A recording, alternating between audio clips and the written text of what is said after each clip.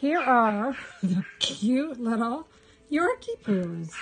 I have been so busy, not able to do pictures or videos on these cute babies, but I don't know if you could see them. Mom's out going potty.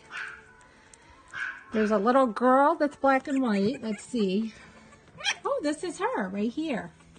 This is the only girl in the litter. Going to look like a black Yorkie. This is a boy. This is a boy. This one's a boy. They're adorable.